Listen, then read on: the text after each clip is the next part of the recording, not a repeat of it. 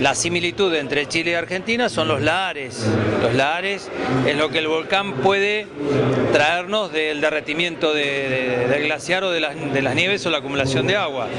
Pero lo que tiene Chile es agua acumulada en un dique. Por eso es más frágil la situación en Chile. De 600 evacuados, 550 están alojados en casas de familia, casas de vecinos, amigos, familiares, conocidos o simplemente voluntarios que han alojado y otros 50, 60 están alojados en las lajas. Así que el mensaje a Loncopué es de reconocimiento y agradecimiento. Loncopué tiene que estar muy en calma y muy tranquilo porque está muy lejos de la zona de influencia.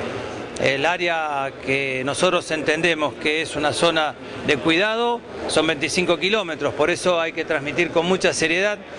Hoy lo decía en Neuquén, hay un matutino de Buenos Aires que dijo que no había clases en la provincia del Neuquén. Eso es un error, eh, no es cierto, es erróneo. No hay clases en Cabiahue, por la sencilla razón que los alumnos y los maestros están en Loncopué. Así que no eh, magnifiquemos la situación. Esto es un volcán, es una población como Cabiahue que está al lado de un volcán. Tampoco eh, tenemos que arruinar el destino turístico. Esto es una situación de prevención, simplemente ante la posibilidad que el volcán pueda este, arrojar elementos piroclásticos, estamos hablando de piedras, estamos hablando de gases, estamos hablando de, arenas o cenizas. Se han registrado ayer 500 eh, 30 personas más o menos en el gimnasio de Loncopué. Calculamos que unas 200, 250 personas se han autoevacuado y no se han registrado en el gimnasio de Loncopué y pasaron directamente.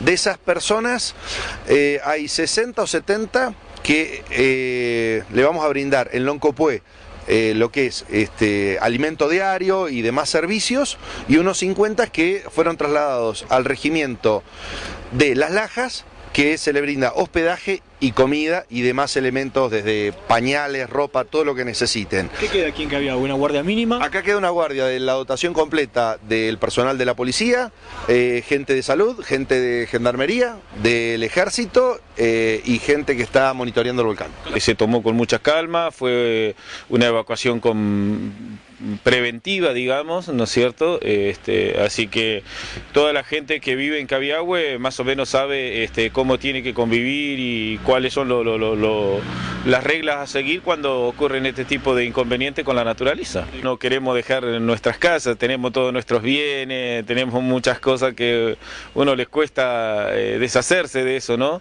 Además, este, con el tiempo y todas estas cosas que uno no está en su lugar, este, por ahí es como que se siente que anda molestando y todo esto. Este, pero sí, eso sí cuesta, cuesta dejarlo, pero bueno, entendemos nosotros que bueno, estamos preparados para esto.